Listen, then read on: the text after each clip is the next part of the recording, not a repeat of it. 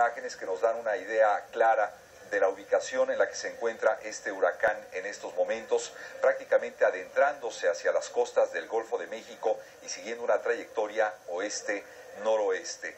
Poco a poco eh, las señales eh, de peligro van disminuyendo, sin embargo es muy importante que dependiendo la zona en donde usted se encuentre, eh, llame de antemano a las líneas de información que han sido establecidas para que usted reciba toda la orientación necesaria en estos casos. Veremos en unos instantes los números de teléfono a los que usted puede llamar. Aparecen en pantalla para el condado de Monroe, el condado de Miami-Dade y el condado de Broward.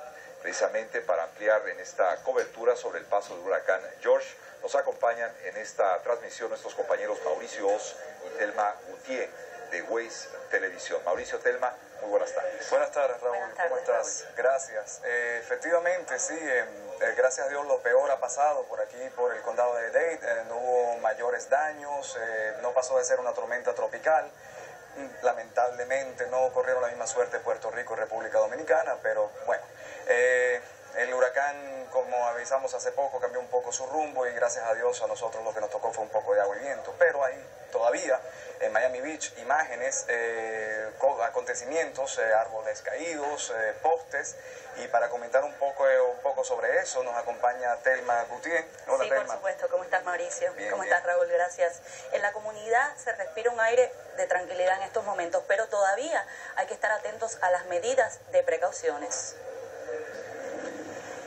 Prácticamente todos los avisos de tormenta tropical han desaparecido para el sur de la Florida, pero aún existen avisos de tornados. No se confíe ya que todavía se sienten ráfagas de aire intensificados ocasionar accidentes, especialmente en las cercanías de la playa. Aunque mucha gente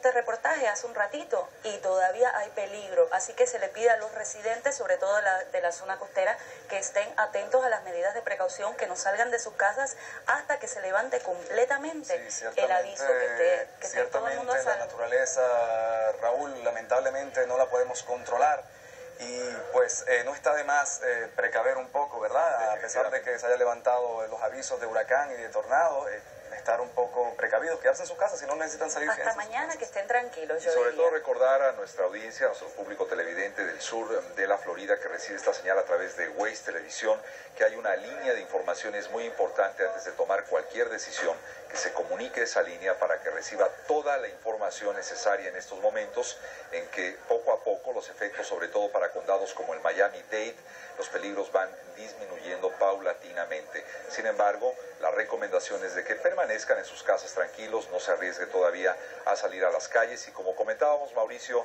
esta tarde ya en estos eh, minutos finales de nuestra transmisión, eh, no cabe duda que en esta ocasión se ha demostrado gran civilidad y sobre todo un gran aprendizaje de un fenómeno que fue también devastador para esta zona de los Estados Unidos, que fue el huracán Andrew en 1990. Exactamente, fue una gran lección que aprendimos hace seis años, como lo comentábamos antes. bueno, para nosotros... Y la comunidad trabajando en equipo ha sido increíble. Sí, una muestra de civismo, de verdad y disciplina. Para nosotros eh, ya esto ha sido todo en esta cobertura especial del huracán George y queremos aprovechar para, agradecer a ti, Telma, a todo el equipo que ha estado con nosotros trabajando muy duro, 36 horas, casi más, 38 horas trabajando, Kenia Basilis, Ricardo Castellanos, Aarón de Amador, Marcela Gómez, Marcos Hidalgo, a todos ustedes aquí en CBS Noticias, Raúl, eh, Marián, que de verdad se han portado con nosotros maravillosamente, todos ustedes un gran apoyo nos han dado y por supuesto a todos en sus casas por sintonizarnos. Se les quiere mucho y cuídense. Muchas gracias Mauricio y muchas gracias Telma por haber estado con nosotros, sobre todo gracias a Waze Televisión por esta colaboración que hemos tenido tan estrecha en la cobertura, en la información del paso del huracán George por el sur de la Florida. Gracias, continuamos.